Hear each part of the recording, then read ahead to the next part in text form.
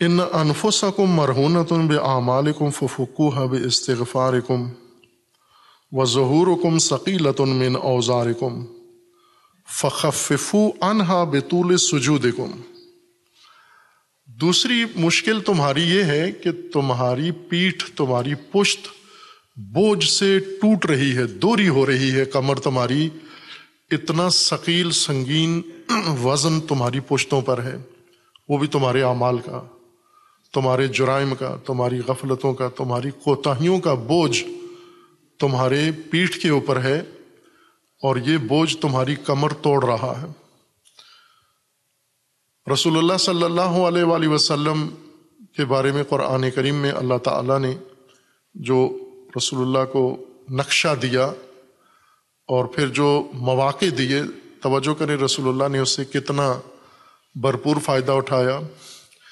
पहले ये बताया कि आप क्या थे और फिर हमने आपको कैसे बनाया? सूरह जोहा में, सूरह मुबारक जोहा में रसूलुल्लाह सल्लल्लाहु अलैहि वसल्लम के हालात हैं कि आप की कैफियत क्या थी, किन मुश्किलात में थे, फिर हमने क्या आपको मदद व सहूलतें दी और फिर आपको कितनी आसानियाँ हमने आपके लिए पैदा कर दी हैं? अक्सर आप सुनते रहते हैं सूरह दोहा लेकिन उससे ये नहीं समझते कि जो कुछ खुदावन तबारक वाली ने रसूलुल्लाह सल्लल्लाहु अलैहि को अता किया है, वो हम सब की ज़रूरत है। और ये उमूमी कायदा है कि अल्लाह तबारक वाली ने जो कुछ अम्बिया को दिया है, वो इंसानों की ज़रूरत है। इंसानों की ज़रूरत से हट कर कोई चीज़ अम्बिया को नहीं दी गई। यानी मकसूद अम्बिया को थकाना नहीं था। और अम्बिया को नुमाइश करने के लिए नहीं भेजा गया। नुमाइशी शख्सियात नहीं है जैसी हमने बना दी हैं। हम जब अम्बिया की तोसीफ़ व तारीफ़ करते हैं तो नौजुबिल्ला उसके अंदर से एक नुमाइशी शख्सियत निकाल के पेश करते हैं कि जो अल्लाह ताला ने सिर्फ़ नुमाइश के लिए बनाई है, शो के लिए बनाई है। ना, अल्लाह तबारक व ताला ने अपने नक्शे की तकमील के लिए उनको मेमार व मुअल्लिम बनाया है। यानी तमाम इंसानों की जितनी ज़रूरियात थी वो अम्बिया को देकर भेजा है कि आपके ज़रिए से अंजाम पाए। अम्बिया को कैसे तैयार किया है? सूरह मुबारक दोहा में है वह दोहा व ले इज़ा सजा। ये कस्में हैं जोहा की कसम है, लैल की कसम है। माँ वद्दा का रब का व माँ कला। आपके रब ने आपको छोड़ नहीं दिया अपने हाल पर।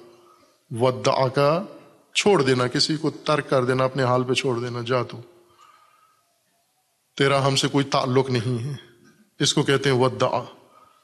विदा भी इसी को कहते हैं ना, अब विदा, यानी जा तू अब, अपने हाल पे जा तू।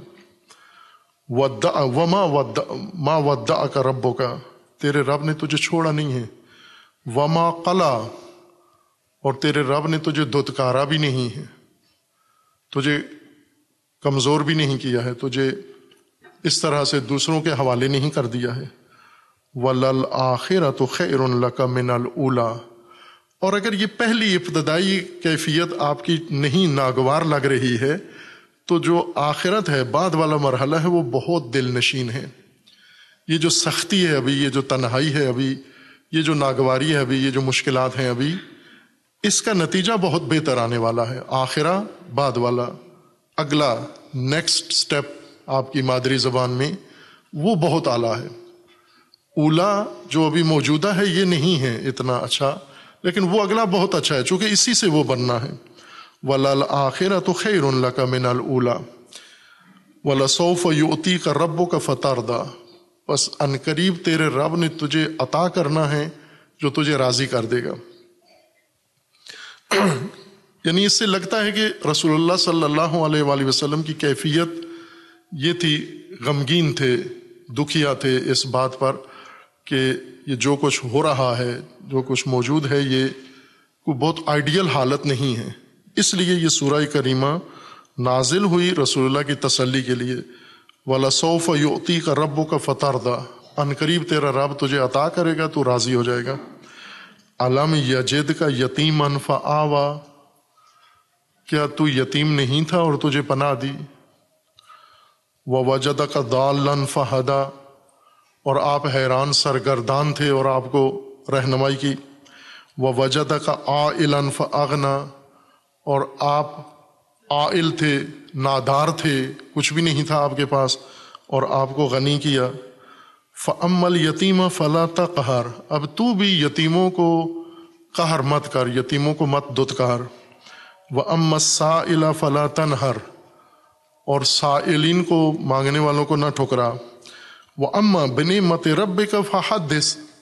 और अपने रब की नेमत का तस्करा कर कि रब ने किस तरह, किस हालत से तुझे निकाला, उस हालत से और यहाँ पहुँचाया, ये बता लोगों को।